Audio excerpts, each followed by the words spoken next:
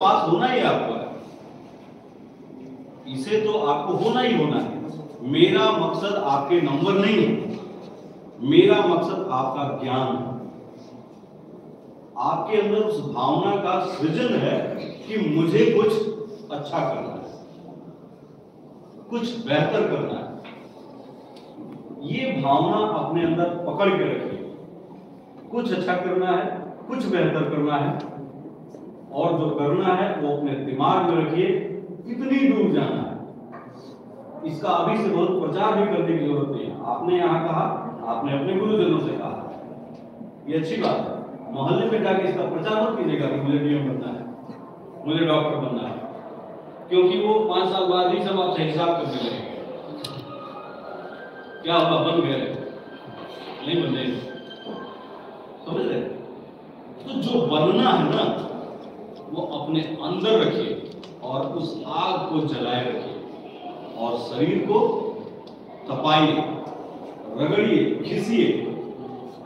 क्योंकि आप ऐसे समझ लेते कि आप सब विज्ञान के विद्यार्थी लोहा जैसा ज़मीन से निकलता है, मिट्टी से। तो क्या उसका स्वरूप ऐसा होता है कि उसको किसी काम में लाया जा सके? ढेरे बराबर उसकी कीमत होती है। थोड़ा उससे ज़्यादा मिट्टी से मिलता है। उसकी कोई कीमत है नहीं। फिर उसका फिल्ट्रेशन होता है। उसको पिघलाया जाता है, छांटा जाता है। और एक सांचे में डाला जाता है। और जैसे ही वो आकार लेता है, उसकी कीमत पेड़ खड़ा है, उसकी कीमत काट के लकड़ी बनाया उसकी कीमत, और लकड़ी से काट के सोफा, बेड, पलंग बना दे, उसकी कीमत। इसमें ज़्यादा बढ़ी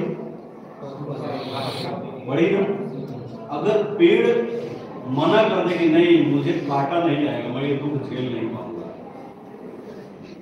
लोहा ज़मीन से निकला हुआ मना कर दे कि नहीं, मुझे ये खौलाया और पीटा जाना और छांटा जाना पसंद नहीं है। पत्थर ये इनकार कर दे कि मुझे काटा नहीं जाएगा तो मूर्ति बन पाएगा। पत्थर की पूजा ज़्यादा होती है मूर्ति की पूजा ज़्यादा है तो पत्थर की। मतलब ये है कि आपको कटने, पिटने, छटने के लिए तैयार होना अपने शरीर को मांझने के लिए तैयार कर लेंगे। और यहाँ जो लोहार है, जौहरी है, ये कौन है? ये इधर सामने बैठे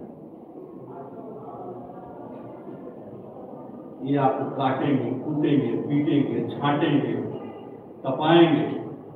इनको भी पता है कि मैं एक एक हज़ार शब्द दिया होना ये बच्चे के लिए बड़ा मुश्किल है। पता है? ये लेकिन ये तकलीफ़ आपको दे रहे हैं बार बार कि नहीं, हमको कल चाहिए हज़ार हज़ार शब्दों का एक प्रोजेक्ट क्यों? क्योंकि आपको ये घिसना चाहते हैं। क्योंकि जिस दिन आप हज़ार पेज का तीन घंटे में लिख के लिया के रख देंगे ना, उस दिन से आपको खुद महसूस होगा अच्छा हज़ार शब्द लिख सकता उसके पहले तक कठिन था आपके लिए। जब तक आप दस में नहीं आए थे दस बड़ा कठिन था जब आठ में थे ना, आपको लगता था अभी आप सोच रहे होंगे, इंटर में बढ़िया लोग इतनी मोटी किताब। सब जोड़ दो तो इतना होता है अभी हाई स्कूल में। और यहाँ तो एक विषय इतना मोटा, ये कैसे होगा। होता होगा ना?